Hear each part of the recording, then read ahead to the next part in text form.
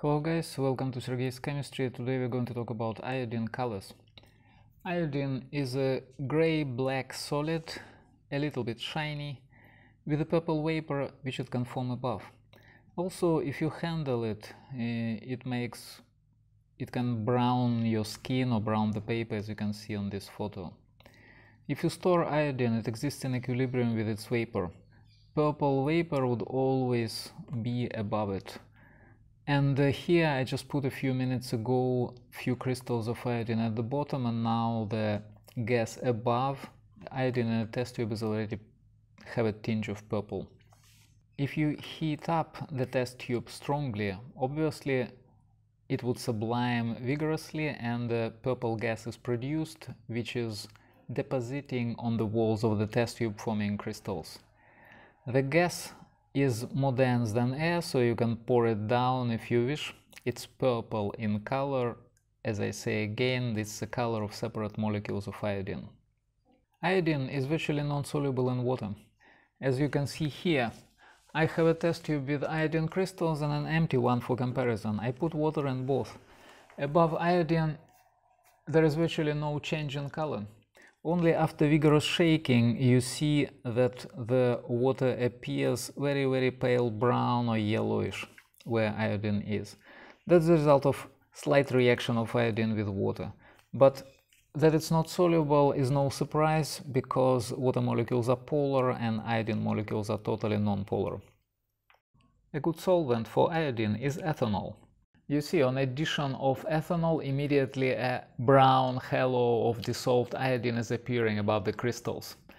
To understand why this happens, why ethanol is a good solvent, we can look at its structure. It has a ethyl group which is nonpolar, which can accommodate nonpolar iodine molecules and write them piggyback into solutions. Iodine solution with ethanol is deep brown. There is another substance which can help dissolving iodine in water. Surprisingly, it's its own ions, iodides. For example, if I use solution of potassium iodide and add it in water where there are iodine crystals, iodine is nicely dissolving in it. Just 20 drops, you see 0.5 moles per cubic decimeter solution of potassium iodide is enough to dissolve iodine making deep brown colored solution. Here are the colors. Again, you can see of pure water, iodine and water, iodine and ethanol, and uh, iodine and potassium iodide. Another good solvent which one can easily think of is any organic non-polar solvent such as hexane. Here I'm adding hexane to iodine crystals in the test tube and immediately you see the purple halo of dissolved molecules above it. After shaking, it's getting deep purple color.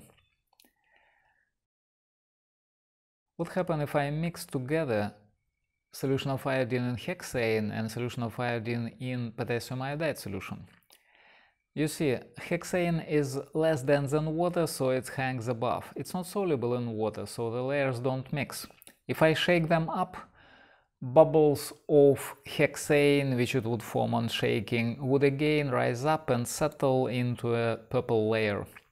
So you see it's getting a little bit more intense because iodine is a little bit significantly actually more soluble in hexane than in potassium iodide.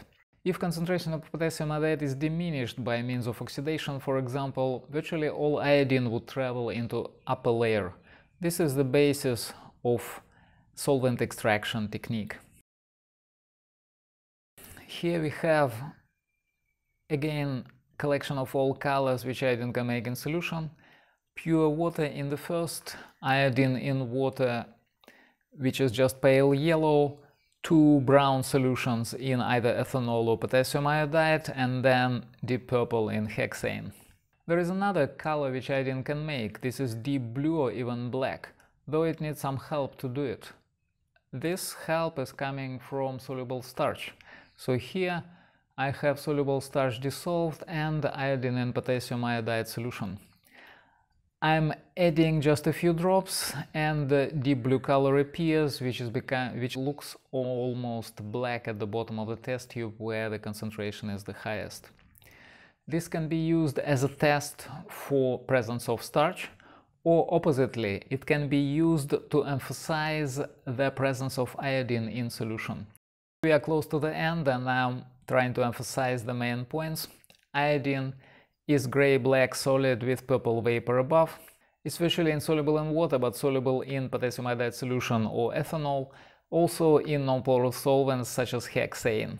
It can be used as a test for starch or starch can be used to emphasize the end point of redox titration using iodine. Thank you for watching, see you next time, please subscribe to the channel, bye!